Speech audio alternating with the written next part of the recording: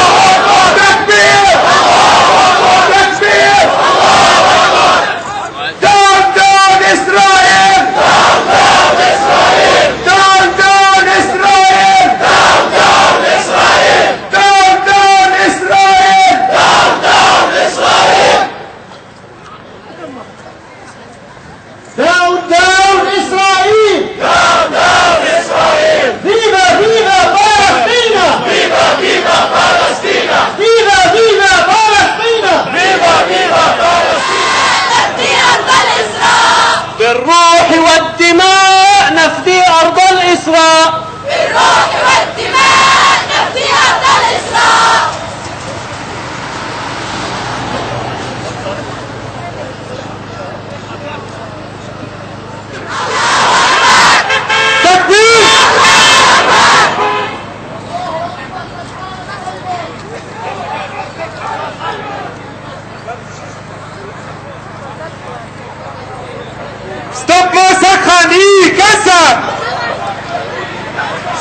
سقني كسا سكم يا إسرائيل سكم يا إسرائيل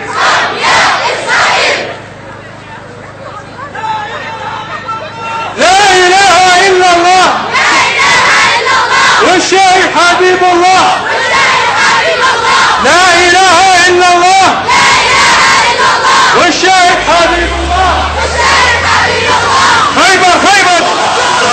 خدا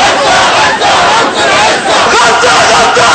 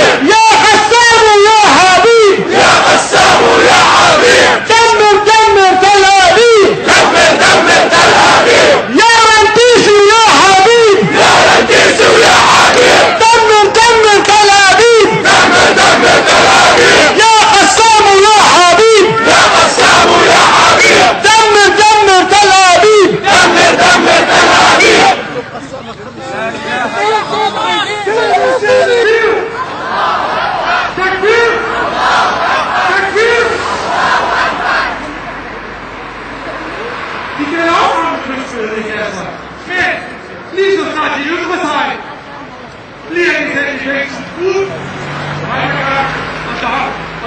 familier af besættelsesmagten, som kynisk vil regulere befolkningstallet. Små mennesker likvideret.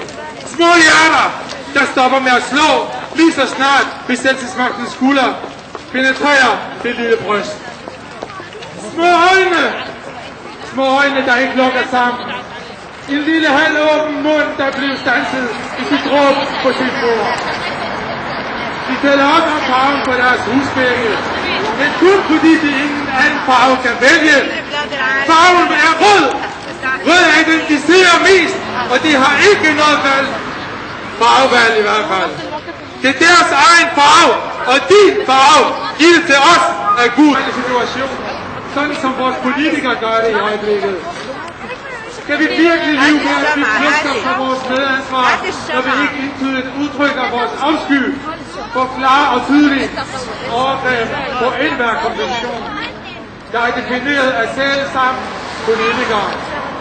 Tag et bevis valg og sig fra over for den moderne apartheidstat, der vil kræve den jord, som de vil have i. Tag et valg og lad ikke på tabet blive videre med en psykostak.